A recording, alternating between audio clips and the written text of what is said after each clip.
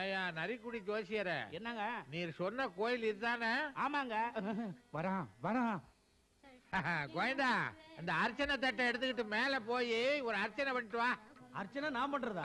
உங்க பேருக்கு தானே? ஆமா என் பேருக்கு தான். நீங்க வர வேண்டாமா? நான் வரலைன்னா ஐயர் அர்ச்சனை பண்ண மாட்டாரா? ஏங்க குளிச்சு குங்குமம் போட்டு வச்சு குன்றத்தூர் கோயில் அடிவார வரைக்கும் வந்துட்டீங்க. மேல வந்தா நீங்க என்ன குறைஞ்சா போயிடுவீங்க? படி ஏறினா பல்ஸ் வீக்கா போயிடும்னு ஜோசி சொன்னானா? என்ன உன்ன ஜோசியர் மேல பாயிர நான் முதலாளி நீ டிரைவர் எனக்கு ஒண்ணும் அதுல குழப்பம் இல்ல. சொன்னது செய்யு. தட்டை எடுத்துக்கிட்டு போ. எழுநூறு ரூபாய் சம்பளத்துக்கு எருமாடு மாதிரி வேலை செய்யறேன். அப்பப்ப இந்த ஜோசிக்காரன் வேற முதுகு மேல இருக்கான் உனக்கு இருக்கடி ஒரு நாளைக்கு தீபாவளி. நல்ல நேரம். மழை மழைன்னு பரிகாரத்தை ஆரம்பிங்க. என்னதான் பரிகாரமா இருந்தாலையா ஒரு கோடீஸ்வரன் கோயில் படிக்கட்டுல உட்கார்ந்து பிச்சை எடுத்தா அவ்வளவு நல்லா இருக்குமா? உங்க ஜாதகப்படி கிரகங்கள்லாம் உங்களுக்கு எதிரா வேலை செய்யுது. இன்னும் ரெண்டே மாசத்துல அண்டர் கிரவுண்ட்ல வேலை செய்ய ஆரம்பிச்சிடும் அப்ப எப்பேற்பட்ட கோடீஸ்வரனையும் கோமணத்தோட நடுத்தெருவுல பிச்சை எடுக்க விட்டுரும். அத முறியடிக்கணும்னா ஒரு நாள் முன்னால ஒரு மாதிரிக்காக நீங்க கண்டிப்பா பிச்சை எடுத்தே ஆகணும். ஐயா என்னய்யா? லாட்டரி சீட்டு வாங்கிக்கங்க ஐயா. என்னடா உங்களோட ரோதனையா போச்சு?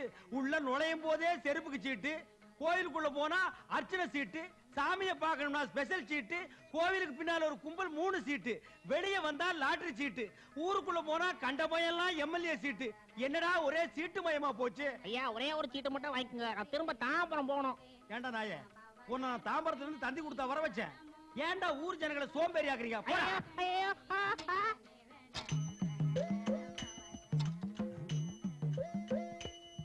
ஓஹோ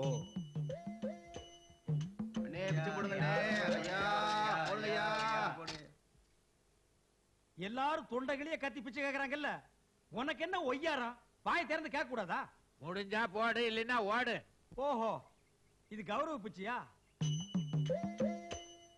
இந்தா. நான் போட்டு நீ வாங்க வேண்டியிருக்கு. இதுதான் நேரங்கிறது.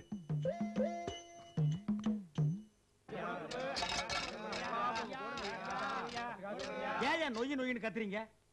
அந்த பெரியவர்கிட்ட இருபது ரூபா போட்டிருக்கேன். எல்லாரும் பிரிச்சு எடுத்துங்க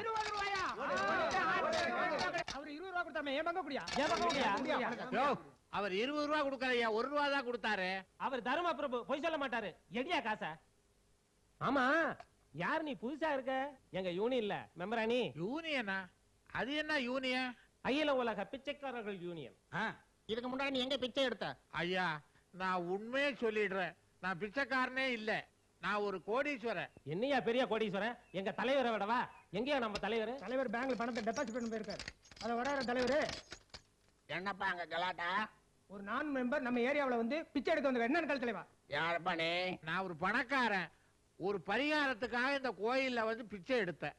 அதெல்லாம் எனக்கு தெரியாதுப்பா. எப்ப நீ மெம்பர் கார்டு இல்லாம வந்து பிச்சை எடுத்தியோ? மூணு நாள் கலெக்ஷன் பணத்தை கட்டிட்டு தான் போகணும். நிறுத்துங்கய்யா. இதுக்கு முன்னால ஒரு பிச்சை எடுத்து பழக்கப்பட்டவர் இல்ல. வட்டிக்கு பணம் கொடுத்து தான் பழக்கப்பட்டவர். ஏதோ செய்த பாவத்தை கழுவுறதுக்காக கடவுளுக்கு கொஞ்சம் பணம் செலவு பண்ணுவார். அது போட்டுண்டா அது என்னமோ மூணு நாள் கலெக்ஷன்றாரு. அது என்ன அமௌண்ட் என்ன இன்னைக்கு கிருத்திகை நாள்? ஒரு ஐயாயிரம் ரூபாய் கேட்பாங்க. கொடுத்துருங்க. ஏய் ஐயாயிரமா? அது நீ யார் சொல்றதுக்கு? தலைவரே நீ சொல்லுப்பா. ஆமாயா ஐயாயிரம் தான். யோ பையே கொடுத்துரு. இப்ப போய் எண்ணுவ நீ வேற.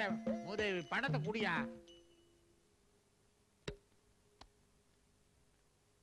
ஏண்டா தங்கு புள்ள. என்ன டிஃபனை வைப்பேன்னு பார்த்தா செக் புக்கையும் பேனாவையும் வைக்கிற? வச்சது சங்கு பிள்ளை இல்ல உங்க பிள்ளைங்க. ஏய் என்ன விஷயம்? செலவுக்கு பணம் வேணும்பா. எனக்கும் தான். என்னடா இது? பொழுது விழிஞ்சா பொழுது போனா பணம் பணம்னு அரிக்கிறீங்க. அத்தை கூலிக்காரங்க மாதிரி அசிங்கமா இருக்குது. பணம் எல்லாம் இல்ல போங்க. ஏன்பா போன வாரம் தானே கொடுத்தாரு. அதுல மிச்சம் இல்லையா? போன வாரம்பா? முழுசா ஏழு நாள். செலவாய் போச்சு. ஆக மொத்தத்துல ரெண்டு பேரும் சேர்ந்து எனக்கு காது குத்துறீங்க. பணத்தோட அருமை தெரியாத பயலுக. அந்த காலத்துல உனக்கா சொல்றேன் அவனுங்களுக்கு சொல்றேன். அந்த காலத்துல எங்க அப்பன் காலெல்லாம் கொடுக்க மூக்கால அழுவா. கடைசியில கொடுக்கவே மாட்டான். அதுக்கு நாங்க என்ன பண்ண முடியும்? உங்க அப்பன் ஏழை எங்க அப்பன் கோடீஸ்வரன். நீங்க காலனா கலைஞ்சீங்கன்னு நாங்க கை செலவு கலைய முடியுமா? அட ஏன்பா பெத்த பசங்களுக்கே பாக்கெட் மணி கொடுக்காம இப்படி துரோகம் பண்றீங்க? என்னது? நான் துரோகம் பண்றேனா? அட பாவிகளா பெத்த அப்பனே ஏமாத்தி காசு பறிக்கிறீங்க அதை விட என்னடா துரோகம் வேணும்? நாங்களா கேட்டோம் இங்க வந்து பிறக்கணும்னு. நீங்க பத்தீங்க அதான் நீங்க எங்களுக்கு செஞ்ச துரோகம். என்னங்க? என்ன? என்னங்க? என்னடி சொல்லு? நான் உங்களுக்கு ஒரு துரோகம் செஞ்சுட்டேங்க. உப்ப கொட்டி இருக்கிற இதுதான் துரோகமா? ரசத்துல புளிய போட்டா அது துரோகன்ற எல்லாத்துக்கும் துரோகம் துரோகன்ற போய் கஞ்சியை கொண்டா. யாரா நீ? இவன் தாங்க கசாப்பு. வள்ளி குப்பம் வடிவேலு. பயங்கரமானவன். அது சரி. வீட்டுக்குள்ள ஏன் வந்து கத்துற? வெளியே வந்து கத்துனா கேட்காத அதான். விஷயம் என்ன? யோ சோறு போடுற லட்சுமி அத்தை எட்டி வச்சு படாத இடத்துல பட்டு ஒஞ்சு போச்சு. அதே? எந்த லட்சுமி? இவர் தள்ளின்னு போய் தேய்க்கிற லட்சுமி இஸ்திரி பொட்டி வண்டி அத்த வச்சிட்டியே ஒரு ஆயிரம் ரூபாய் கூட நாங்க தகராறு முதலாளி அவன் காசு கேட்கறான் ஒரு ஆயிரம் ரூபாய் ரெண்டாயிரம் ரூபாய் கொடுத்து துரத்துங்க. அடச்சே அறிவேட்டவன ஆயிரம் ரெண்டாயிரங்கிறது உனக்கு சாதாரணமா இருக்கா? நான் கீழே இறங்கி வரேன் இந்தப்பா பணம் கொண்டு வந்து கொடுப்பாரு. கார் கண்ணாடி கண்ணாடி உடைச்சிடாதீங்க. ஆ வாங்க வாங்க வாங்க. கப்புன்னு பண்ட எடுத்து கொடுத்தீங்கன்னா போடலாம். வேலை நிறைய இருக்குதுங்க யோ உன் ஆளு செஞ்ச வேலைக்கு அவன்ல எனக்கு கொடுக்கணும். என்னமோ நான் கொடுக்கணும்ன்றிய. எல்லாரும் வெளியில போங்க. முதலாளி என்னங்க நீங்க பணம் கொடுப்பீங்க நம்பி நான் சொல்லிட்டேன். கையில கட்ட வச்சிருக்கான். பட்டுன்னு கண்ணாடி உடைச்சிட்டான்னா?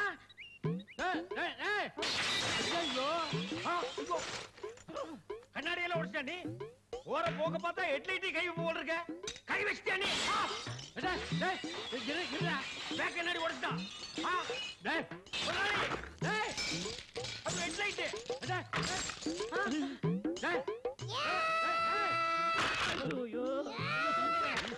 நிறுத்துடா. நீ துட்டு தரா கண்டே உன் வண்டியில தொண்டி. அம்பாசிடர் வண்டி அடிக்குது பார் நொண்டி. என்ன ரைம் எங்க இருந்து என்ன வருதுலாம் வாயில இருந்தாடா ஒட்டின்னு போடா பேமானே ஒட்டின்னு போடா டேய். போங்கடா. போங்கடா. இதெல்லாம் ஒரு டயர்னு ஊத்தி போறாங்க பாரு. ஐயோ இப்ப திருப்தியா உங்களுக்கு? போங்கடா. என்ன முதலாளி காரை அநியாயத்துக்கு உடைச்சிட்டு போயிட்டானுங்க? அடைச்சா. ஒவ்வொன்னா சொல்லி அவனுங்களை உடைக்க வச்சுப்புட்டு இப்ப நியாயம் பேசுறான் நியாயம். அடுத்த மாசத்துல இருந்து உனக்கு சம்பளமே கிடையாது. இந்த மாசமே எனக்கு சம்பளம் வேண்டாம். அதான் காரே இல்லையா அப்புறம் சம்பளம்? ஏன் முதலாளி காரையிலே நீ எப்படி போவீங்க? என்னது? போறோம் குதிரை. ஏண்டா சங்கு? என்ன முதலாளி? ரொம்ப நாளா இந்த இடது கால் மாத்திரம் குடையுது அது ஏன்? வயசாகி போச்சு முதலாளி.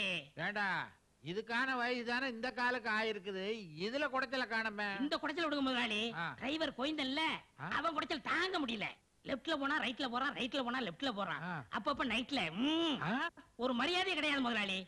முதலாளி எங்க ஊர்ல ஒரு டிரைவர் இருக்கான். டிரைவர் நான் டிரைவர் அப்படி ஒரு டிரைவர்.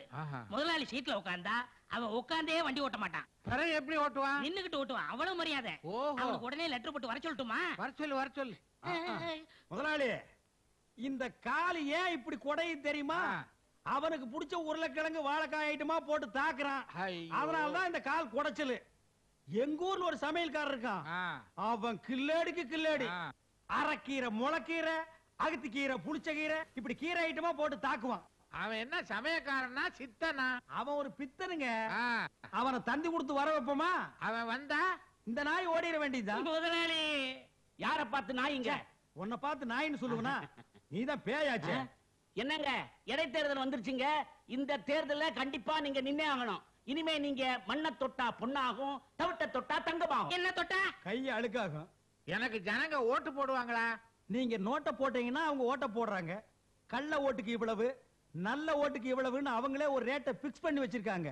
இதுல வள்ளி குப்பம் வடிவேலு எக்ஸ்பர்ட் அவன் மட்டும் கையை நீட்டி சில்லறைய வாங்கிட்டான் உங்களை ஜெயிக்க வச்சே தீருவான். அவன் நமக்கு எதிரியாச்சே அவன்கிட்ட போய் நாம எப்படி நிக்கிறது? அட என்னங்க நீங்க விவர முடியாத ஆளா இருக்கீங்க?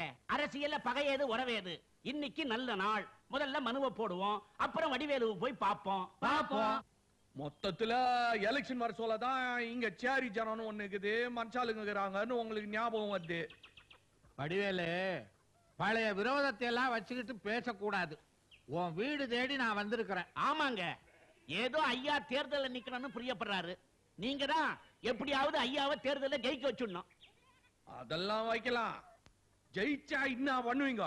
இதுக்கு முன்னால ஜெயிச்சவங்க எல்லாம் என்ன பண்ணாங்க? அதையே தான் நாங்களும் பண்ணுவோம். மந்திரி சேவை அமைப்பாங்க. ஐயா கொடுக்க வேண்டியவங்களுக்கு கொடுத்து பிடிக்க வேண்டியவங்களுக்கு பிடிச்சு மந்திரி ஆயிடுவாரு. செவுத்துல கோந்து தடவி தெரு தெருக்கும் போஸ்டர் ஓட்டுவீங்க. ஆமா. ஆமா நெட்ட கோக்கு நெட்ட கோக்கா கட் அவுட் வச்சு டிராபிக் ஜாம் பண்ணுவீங்க. ஆமா. வரிசையா கவர்னர் வீட்டுக்கு நடந்து போய் எதிர்க்கட்சி மேல புகார் கொடுப்பீங்க. ஆமா. நினைச்சா பந்து உண்ணும் விரதம் உண்ணாத விரதம் சாலை மறியல். ஆமா. மொத்தத்துல எங்களுக்கு ஒன்னும் பிரயோஜனம் இல்ல. பண்ணுவோம்ப்பா. எப்பா. பின்னால. நீங்க பின்னால பண்ணுவீங்க நாங்க காத்து நிற்போம். அதுக்கு முன்னாலே உங்க மந்திரி சபை கவுந்து போடும். இந்த கதையே வேணாம் கையில காசு வாயில தோசை. என்னய்யா தோசை இட்லின்னு கிட்டாது. எங்க வீட்டுல இல்லையா? எனக்கு ஓட்டு தான் வேணும். அதான் சூசகமா சொல்றேன். எங்க சேரி ஜனம் மொத்தமும் ஓட்டு போட்டதுன்னு வச்சுக்கோ. டூ தேர்ட் மெஜாரிட்டி உனக்கு என்னப்பா. மொத்த ஓட்டை எனக்கு போட சொல்லு உனக்கு ஒரு நல்ல கமிஷன் தர்றேன் ஆட்சிக்கு வரதுக்கு முன்னாடியே கமிஷன் பேசுறதுனால தான் ஆட்சிக்கு வந்ததும் விசாரணை கமிஷன் வருது அது எங்களை என்ன பண்ணும் அதுவும் சரிதான் திருஷ்டி கழிச்ச மாதிரி அதெல்லாம் எதுக்குப்பா ரெண்டு லட்சம் ரூபாய் கூட மொத்த ஓட்டு வாங்குதான் ரெண்டு லட்சம் எதுக்கு என்னங்க நீங்க ஏழு ஜனங்க காலங்காத்தால வயித்த புடிச்சு நீ ரயில் தாண்டவாள் தாண்ட போய் உக்காந்து நிக்குதுங்களா என்னத்துக்குப்பா ரயில கவுக்குவா இல்லீங்க இங்க பாத்ரூம் கிடையாது இந்த ரெண்டு லட்சம் ரூபாய வாங்கி சின்னதா சிக்கனமா ஒரு பாத்ரூம் கட்ட வேண்டியிருக்குது. யாழிங்க பாருங்க எத்தனை தலைங்க எவ்வளவு வயிறுங்க என்னங்க யோசிக்கிறீங்க? இல்ல முத முதல்ல தேர்தல்ல நிக்கிறேன். பள்ளிக்கூடம் கட்டினா நல்லது பாத்ரூம் கட்டணுன்றிய பள்ளிக்கூடமா இருந்தா என்ன பாத்ரூமா இருந்தா என்ன? ரெண்டுலயும் உட்காரத்தான் போறாங்க. ஆமாங்க பள்ளிக்கூடம் இல்லைன்னா ஒன்னையும் கட்டிடாது. பாத்ரூம் இல்லைன்னா கெட்டிடும். கொடுங்க. இன்ஜினியரிங் காலேஜ் மெடிக்கல் காலேஜ் அசந்தா செத்த காலேஜ் கூட அட்மிஷன் போட்டு அள்ளிடலாம். ஓஹோ. நரிக்குடி. ஆ, நரி குட்டியா பொட்டி உள்ளார வச்சு கொண்டாந்துக்கிறீங்களா? அட பேர்ப்பா பொட்டியில இருக்கிறது துட்டு. ஆயிரு மக்களே நல்லா கேட்டுங்கப்பா. ஐயாவோட சின்னம் குதிரை சின்னம். குதிரை சின்னத்தை பார்த்து போடுங்கய்யா ஓட்டு. அட குதிரை சின்னத்தை பார்த்து போடுங்கய்யா ஓட்டு. நீ துட்ட இங்க நீட்டு. அப்புறம் போடுறோம் ஓட்டு.